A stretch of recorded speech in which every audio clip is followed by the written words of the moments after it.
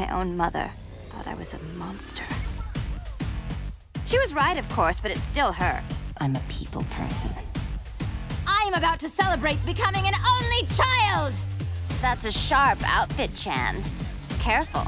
You could puncture the hull of an Empire-class Fire Nation battleship, leaving thousands to drown at sea. Because it's so sharp.